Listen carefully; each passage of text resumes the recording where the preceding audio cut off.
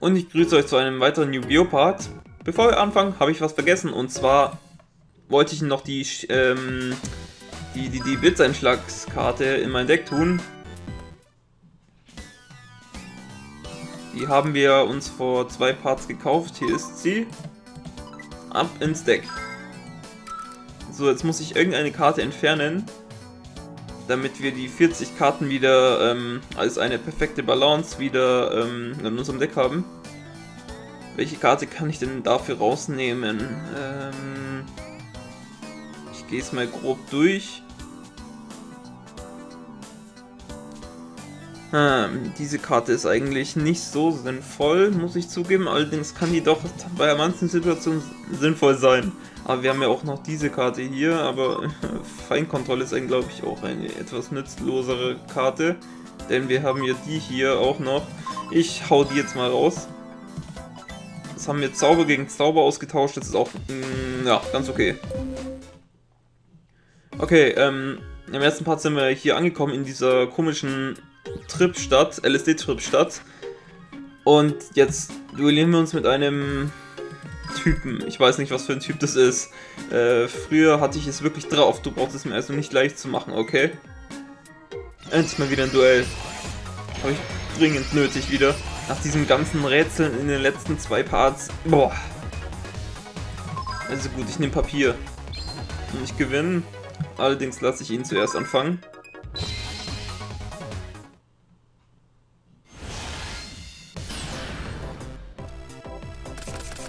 Alles klar, jetzt seht ihr auch das Spielfeld in einer größeren Position. Und ihr könnt euch jetzt die Kartennamen hier links durchlesen und auch deren Effekte. Magische Zitadelle von Endymion. Jedes Mal, wenn eine Zauberkarte aktiviert wird, lege eine Zauberzählmarke auf diese Karte. Wenn eine Karte mit Zauberzählmarke zerstört wird, lege ihre Zauberzählmarken auf diese Karte. Einmal pro Spielzug, falls du den Effekt einer Karte aktivieren würdest, indem du Zauberzählmarken von Karten entfernst, die du kontrollierst, kannst du stattdessen Zauberzählmarken von dieser Karte entfernen. Falls diese Karte zerstört werden will, kannst du stattdessen eine Zauberzählmarke von dieser Karte entfernen. Alles klar, sein Deck spielt anscheinend auf Zauberzählmarken, wenn er so eine Karte in seinem Deck hat.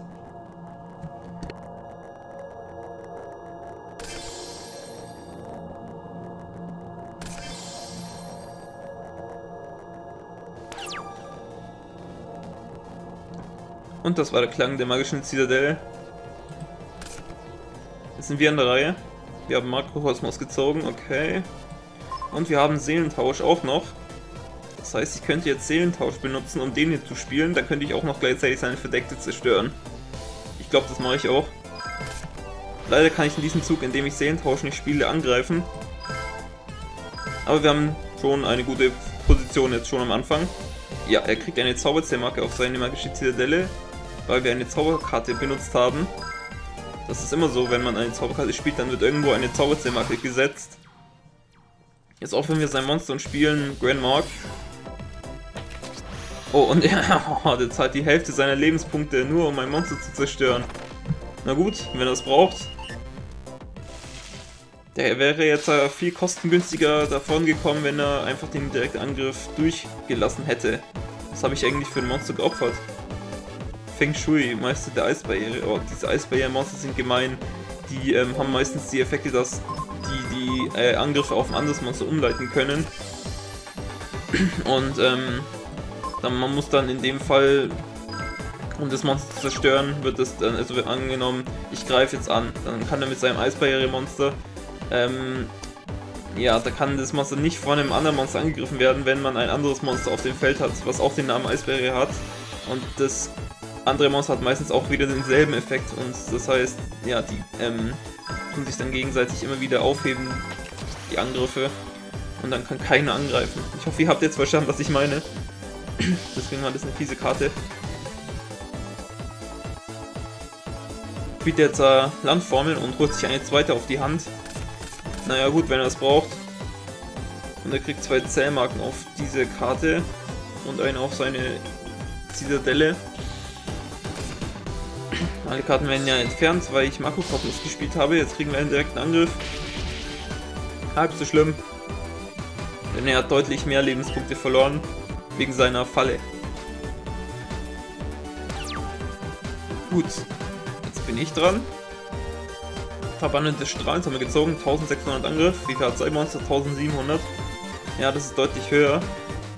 Ähm, ich spiele jetzt die Sperrflugzeug aus dem Grund, weil mein Monster wieder zurückkommen wird und ich dann Kaius im nächsten Zug spielen kann, als Tributbeschwörung und dann kann ich den Effekt benutzen, um seine Zitadelle oder sein Monster zu entfernen.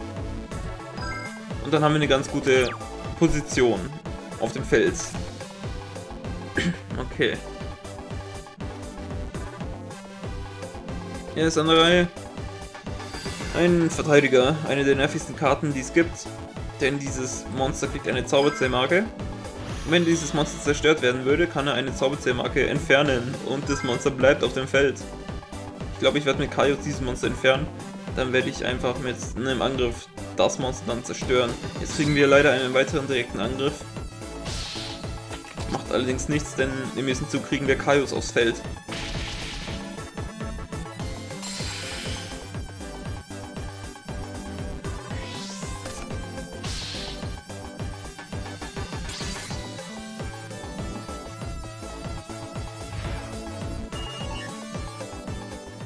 Ja, sind die Lebenspunkte wieder angeglichen.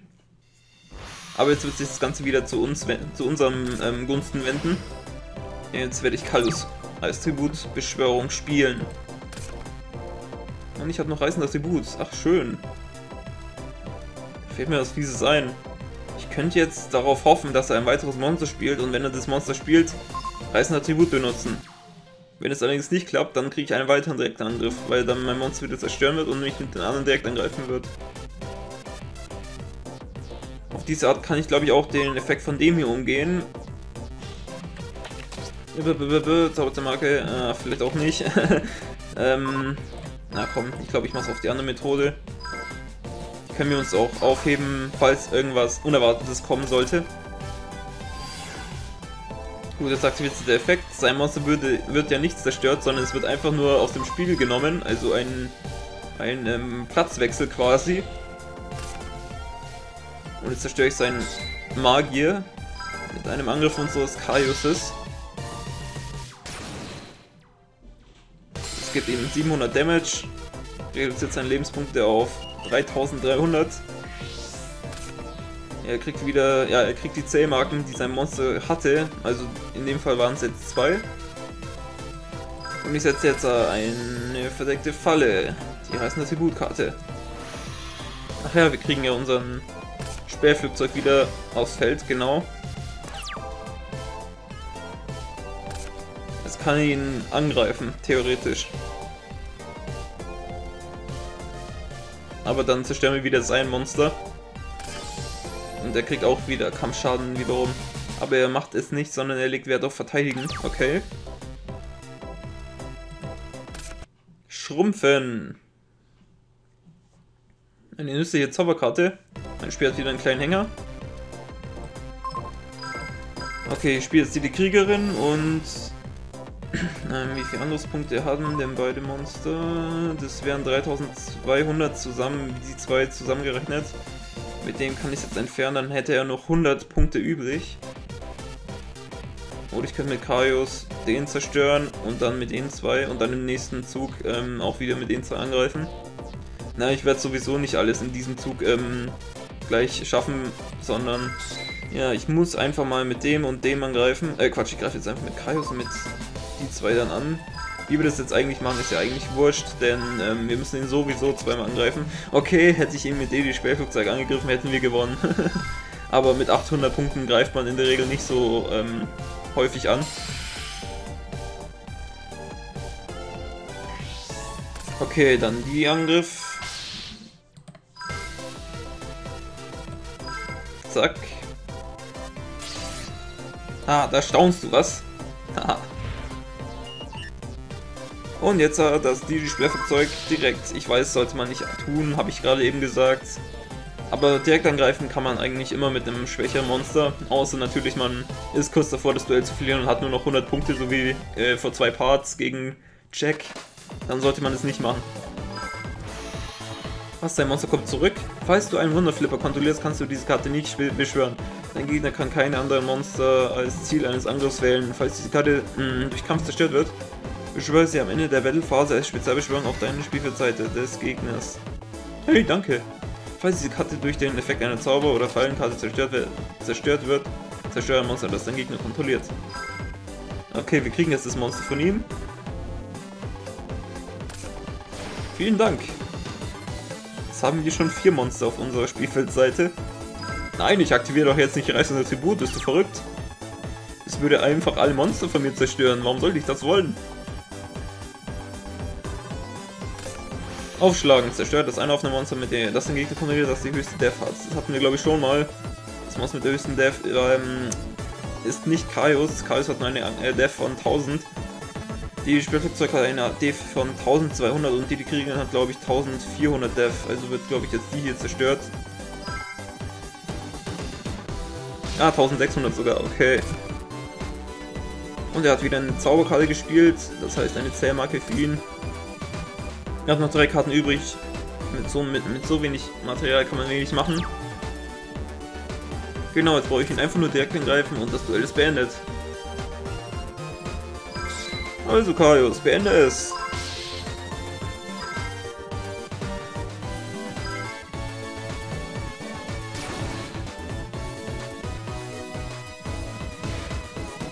Okay, wir haben ihn souverän besiegt. War ja auch nicht so schwer.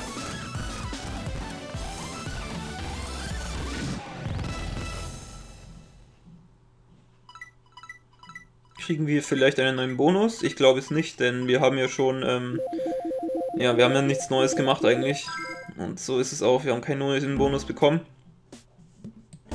Du warst nie übel. Jetzt kann ich dich begleiten, ohne mir Sorgen machen zu müssen. Und das nur, weil meine Magie so einzigartig ist. Dafür gebe ich dir Bestnoten und diese Belohnung. Ich hoffe, du magst sie. Was gibst du mir jetzt für eine Karte? Spiegelkraft, Spiegelkraft! Magischer Hammer. Nicht gerade das Gelbe von Mai, aber gut, besser als nichts. Da wir nun wissen, dass dein Deck in Ordnung ist, sollten wir uns auf den Weg machen. Wohin nur gehen? Na, zu Zermans Schloss natürlich. Oh, vielleicht hätte ich das erwähnen sollen. Habe ich dir nicht von einer Weile ein, ein, um einen Gefallen gebeten? Ach wirklich, habe ich mich, habe ich wohl vergessen. Alt werden ist kein Spaß, sage ich dir. Dann frage ich wohl besser. Bitte hilf mir von der Rettung äh, von Luna. Äh, das ist alles. Was verstehst du daran nicht? Ach, wieder das blöde Quatsche. Ich mag diesen Charakter gar nicht. Ähm. Oh, na gut, dann fange ich von vorne an. Hm, es gibt neben dir noch eine andere Menschen in dieser Welt und er besitzt den Schlüssel zur Befreiung der von Zeemann versiegelten antiken Feendrachens. Äh, eigentlich ist sie ein Kind namens Luna. Sie hat mich benutzt und wurde von Zeemann, ba Bande gefangen.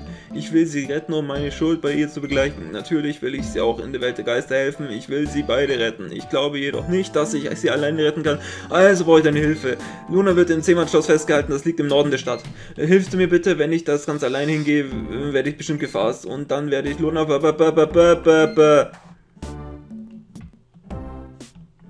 Wirklich? Du hilfst mir also, bla bla bla, okay.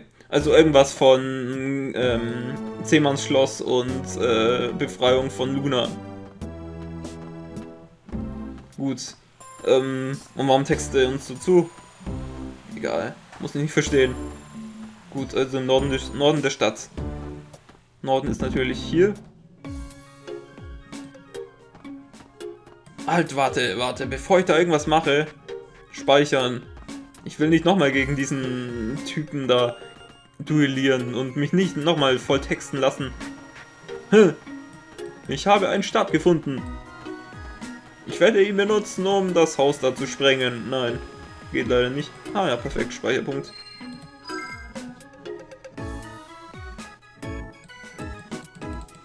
Ne, sowas machen auch Terroristen immer. Die äh, sprengen die Häuser immer mit solchen äh, Minusstäben. Deswegen denkt man auch so negativ über die Terroristen. Weil die, weil die Minusstäbe benutzen. Genau. So, hier ist das Schloss, glaube ich. Oh Gott, wie weit müssen wir denn noch laufen? So viel Gelaufe hier. Unglaublich. Hey Leute, ich würde hier gerne äh, übernachten für eine Nacht. Das ist doch ein Hotel, oder? Wer bist du? Das hier, zehnmal Schloss. Ja. Ähm, okay, das ist der Türsteher. Er lässt uns nicht rein, außer wir besiegen ihn in einem Duell. Du dumm, unnütz. Okay, ne, das ist auch bei Disko Diskotheken so. Bevor man in die Disco muss, äh, kann, muss man sich zuerst immer mit einem verdammten Affen duellieren. Oh komm, warum will immer als warum wollen die Computer immer als Erster anfangen? Als ob das irgendeinen Vorteil bringt. Es ist egal, wer als Erster anfängt. Die Vorteile sind bei ähm, beiden gleich. Überleben wir uns gegen einen verdammten Affen. Können wir den nicht einfach am Schwanz packen und die Klippe darunter schmeißen und sagen, leck mich, ich will nicht. Blödes Spiel. Na, nein, da kommt ja Peter, genau. Und, begießt mich mit so äh, Blut von so Kühen. Wie bei South Park.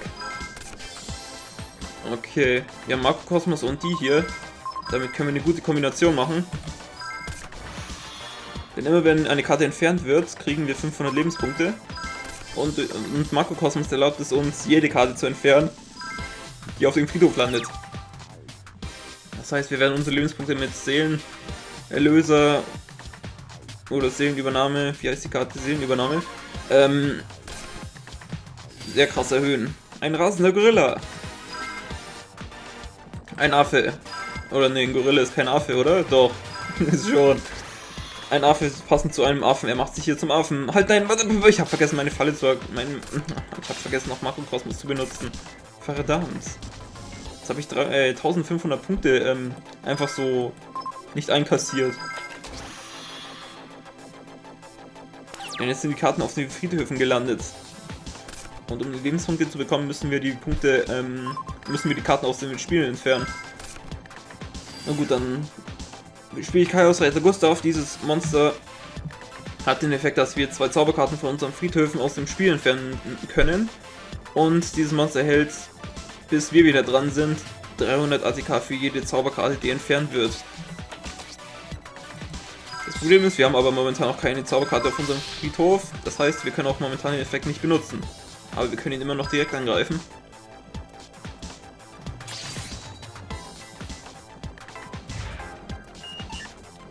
Okay, ich glaube, ich setze auch noch Schrumpfen verdeckt. Denn sein Deck hat ähm, viele starke 2000er Monster. Hier sieht man es ja auch. Grasender Gorilla, 2000 Angriffspunkte. Deswegen ähm, setze ich jetzt noch eine Schrumpfen Schnellzauberkarte noch verdeckt. So, jetzt bin ich gespannt, was diese Affe jetzt macht. Aha, wieder ein starkes Monster mit einer hohen Angriffskraft. Ah ja, das Monster geht durch die Verteidigung, okay. Jetzt greift er uns damit an. Jetzt aktiviert natürlich meine Schrumpfenkarte. Jetzt werden zwei Karten entfernt. Einmal diese hier und einmal sein Monster. Und wir kriegen 1000 Lebenspunkte.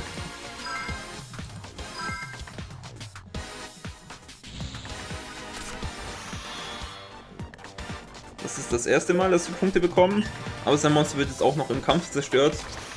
Ach komm, der hat auch eine Schrumpfenkarte, wie gemein. okay. Das ist gemein von ihm. Ja, halbiert es unsere Punkte auch, aber immerhin kriegen wir auch noch Lebenspunkte. Oh Mann, das ist echt gemein. Und hier sehen wir verpackte Zahlen. Na super. Sein Monster hat 150 Punkte mehr.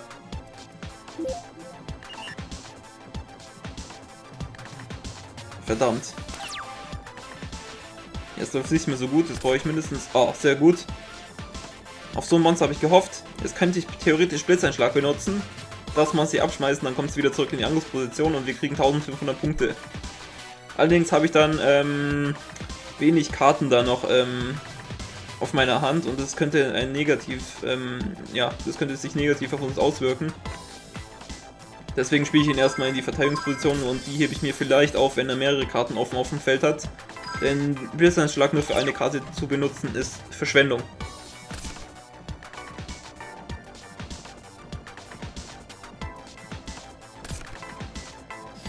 Okay, flinker Momonga. Würde uns einmal direkt angreifen. Wahrscheinlich mit dem Momonga. Aber wir haben als Ausgleich, dass wir wieder immer wieder Lebenspunkte bekommen, wenn eine Karte vom Feld entfernt wird. Ach ja, sein Monster geht ja durch die Verteidigungspunkte unseres Monsters, genau. Hab ich auch vergessen. Naja, egal, das gleicht sich jetzt wieder aus. Und jetzt ein Angriff seines Momongas. Nicht zu wechseln mit Mormonen, flinker Mormone.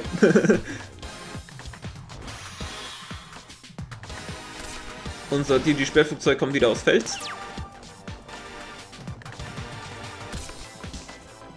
Ich glaube, jetzt ist es an der Zeit, dass ich meine Blitzeinschlagskarte benutze. Ich bin aber im Überlegen... Ne, muss ich eigentlich nicht. Ich kann denen als Tribut anbieten, die Karte entfernen. Oder auch diese Karte, ist mir egal. Ja, die ist eigentlich besser und dann das hier zerstören. Ja, das mache ich spare ich mir eine Karte. Und mein Sperrflugzeug kommt zurück und ich kriege 500 Punkte wieder, weil die Karte wieder entfernt wurde. Jetzt seht ihr langsam die Kombi meines Decks. Ganz nice ist natürlich auch, wenn man Seelenübernahme mit Gesicht des Todes kombiniert. Dann kriegt man nämlich 5 mal 500 Punkte, also 2500 Punkte. Plus Gesicht des Todes auch noch, also 3000 Punkte, wenn Gesicht des Todes entfernt wird. Und jetzt zerstöre ich seinen flinken Momonga und wir kriegen weitere Punkte, da sein flinker Momonga auch noch entfernt wird.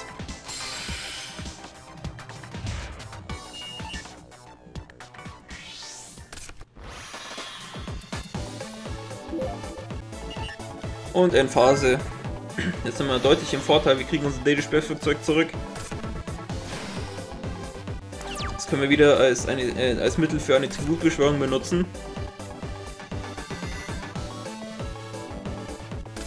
Und er spielt seine Kampfboxen wieder in die Angriffsposition. Das ist ein zweiter. Jetzt wird er wahrscheinlich unser TD-Sperrflugzeug zerstören. Wir kriegen zwar wieder ein bisschen Schaden, aber das gleicht sich ja wieder aus, denn das Monster wird ja wieder aus dem Spiel genommen. Das heißt, wir kriegen jetzt insgesamt nur, nur 400 Schaden. Wir haben jetzt 900 Punkte Schaden bekommen. Aber jetzt kriegen wir wieder 500 dazu, also haben wir jetzt eigentlich nur noch 400 Punkte Schaden bekommen. Und außerdem kommt unser Monster wieder zurück. Und jetzt hat der Monster in die Angriffsposition gespielt. Was ein leichtes ähm, ja, Ziel für mein Kaius ist und er kriegt dann auch noch Kampfschaden. Oder ich muss ihn nicht mit Kaius zerstören, sondern ich mache es einfach mit den die, die Überlebenden. Jetzt kann ich eigentlich schon rechnen. 1800 plus 800 sind 2,6, 2,6 plus 2,4 sind 5000. Er hätte noch 200 übrig, wenn ich jetzt die hier noch benutzen würde. Ähm, ja, aber ich mache es jetzt einfach mal so. Und greife ihn ähm, einfach so an mit dem Monster. Und zerstöre sein Monster nicht mit der Blitzeinschlagskarte. Wir kriegen wieder 500 Punkte, da sein Monster entfernt wurde. Und wieder zweimal direkt angreifen.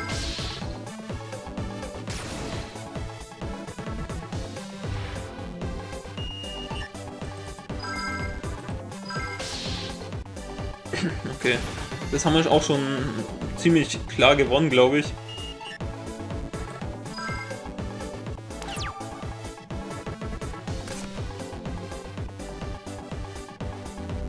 Aber er hat fünf Karten. Aus fünf Karten kann man eine Menge rausspielen.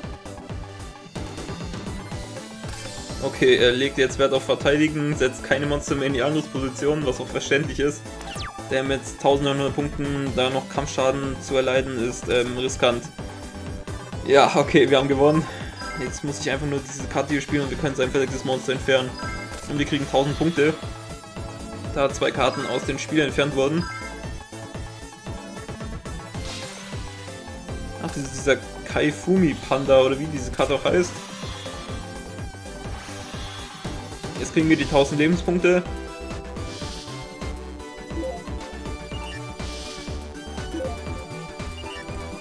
Majigire Panda, okay. Jetzt greife ich mit Kaios an und dann war's das Ganze.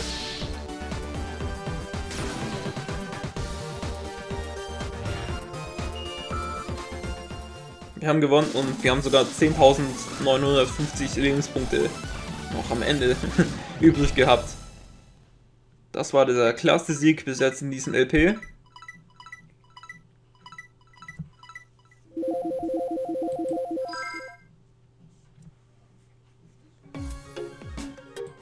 Du Mut haben, du gehst. Ne, du gehst. Hey, warte, ich komme ja auch. Ach, der, der, hält sich einfach zurück, während er mich duellieren lässt, ey. Unglaublich, ich hasse dich, ich hasse dich, du verdammter. Äh, möchte gern ein schwarzer Magier von schwarzer Magierstan. Wow, du hast einen von Zermas Schergen geschlagen, du bist echt gut. Luna muss irgendwo in diesem Schloss sein. Teilen wir uns auf und suchen nach ihr. Keine Sorge, ich bin zäher, als ich aussehe. Ich bin ein versierter Zauberer, bla bla bla, wieder unnötiges Gefasel über seine scheiß Vergangenheit. Jetzt gibt er uns wieder was, okay. Er gibt mir einen Stab, super. Du hast Torunkas Stab bekommen. Dieser Stab ist mit der restlichen Magie geladen, die mir noch zur Verfügung stand. Er verfügt über eine ähnliche Kraft wie die des Minusstabs, den der Feind verwendet. Beim momentanen Zustand meiner Magie können wir vermutlich nicht viel erwarten. Aber er sollte immer noch helfen, verliere ihn besser nicht. Alles klar, lass uns mit der Suche beginnen. Lasst uns mit der Suche beginnen, stand da gerade wieder ein grammatikalischer Fehler. Huch, meine Maus sieht irgendwie anders aus, ne? Die war doch immer schwarz, warum ist die jetzt wieder weiß? Fällt mir jetzt gerade so auf. Egal. Hm, übrigens, wie heißt du eigentlich? fragte mich erst jetzt noch meinen Namen. Janka, das ist ein interessanter Name. Na dann, ähm, mutiger Abenteurer. Janka, lass uns mit der Suche beginnen. Verdammt, ich muss meine Maus wieder schwarz machen. Schwarz ist besser als weiß. Alter Mann, laut Kopfauer, mehr Freunde drinnen machen euch Schmerzen. Soll mich das etwa aufhalten? Komm, möchte gern Türsteher. Hau ab. Gut, ich suche nach einem Speicherpunkt jetzt. Sieht ja schon ziemlich mysteriös aus, das Ganze. Es gibt viele Wächter hier, du solltest woanders suchen. Ja, ich suche erst nach einem Speicherpunkt. Hier vielleicht? Speicherpunkt. Wo bist du? Ich suche nicht nach Luna, sondern im Speicherpunkt. Speicherpunkt! Bist du hier drin irgendwo? Ich gehe mal hier nach oben, vielleicht ist der Speicherpunkt dort. Speicherpunkt! Oh. Nix, nix, nix, nix. Nix, nix, nix, nix. Erst Speicherpunkt, dann, äh, scheiß.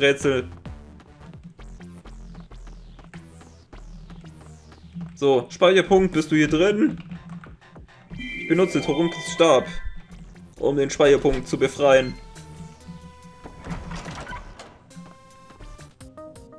Ah, da ist der Speicherpunkt. Oh, ich habe ihn gefunden. Und irgend so ein scheiß Mädchen. Du bist ein Mensch, oder bist du hier, um mich zu retten? Dann habe ich, äh, mein, da haben dich meine Worte erreicht. Vielen Dank, ich bin Luna. Wie lautet dein Name? Vielen Dank, Janka. Ach ja, mir war ein Zauberer, na, mit mir war ein Zauberer namens Torunga. Weißt du, ob es ihm gut geht? Nimm drei dreckigen Pfoten von mir. Weißt du nicht, wer ich bin? Du würdest dich nicht mit mir anlegen, wenn du wüsstest, wie mächtig ich bin. Dann ging es ihm also vor kurzem noch gut. Janka, vergiss mich einfach, verschwinde von hier. Oh, nein, obwohl, komm, hilf mir. Ja, was jetzt? Entscheid dich, Mensch.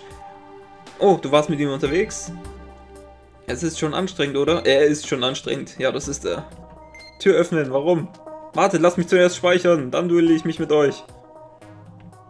Ähm, ich wurde gefangen. You don't say. Janke, wie kannst du nur so kaltherzig sein? Es ist so kalt.